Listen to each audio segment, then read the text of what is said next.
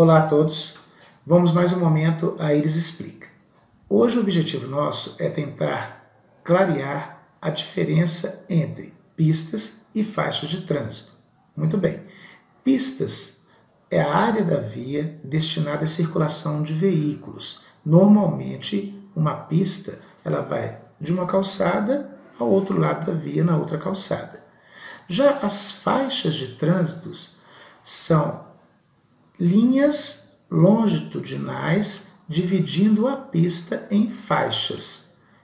Essa largura da faixa tem que ser suficiente para o trânsito de veículos automotores. Isto, basicamente, é o entendimento de pista e faixa.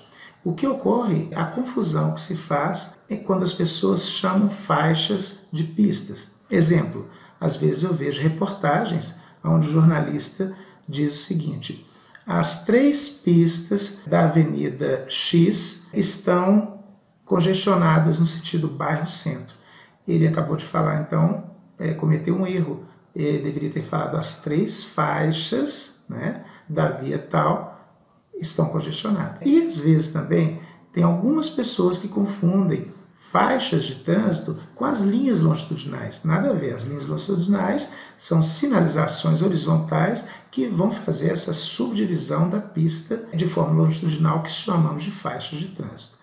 Espero ter esclarecido melhor esse entendimento, facilitado para vocês. Né? E em, outro, em outros momentos, a Iris voltará esclarecendo outros pontos sobre as regras de circulação e conduta para vocês. Até a próxima.